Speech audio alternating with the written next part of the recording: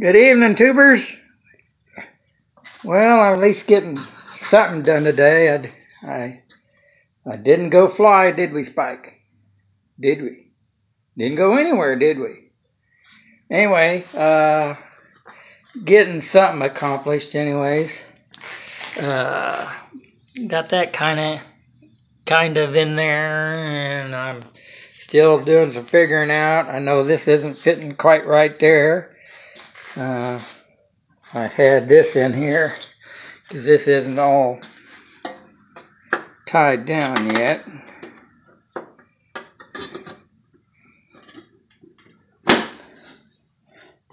But that fits pretty good like that.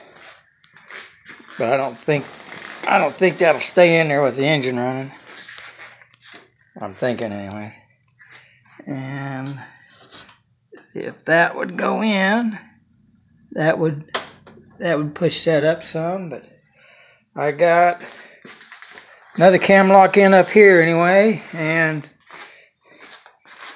one here. I'm eliminating a whole bunch of them because this thing was a booger to get on and off with all the Clecos I had. I'm um, Clecos, all the cam locks I had in it. So I'm eliminate eliminating probably half of them.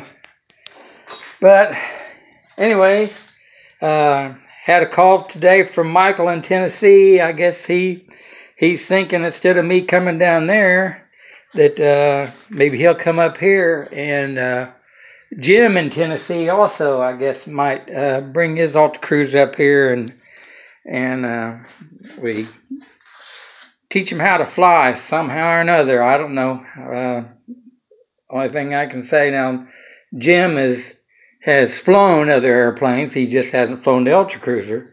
And Michael's flown RC, but hasn't flown anything else. So, anyways, I guess the only way to do it is to um, talk to them on the radio, and they both have radios. And of course, I've got a radio too. So, anyway, well, that's what's been going on today. And Spike came down and seemed like he wanted to stay down here just so I'm down here. So I put him back there in his spot, didn't Spike?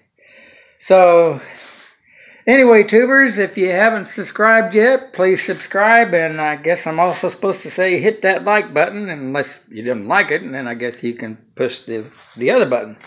I guess it's the down, the not like button. Anyway, um, there you go, and God bless.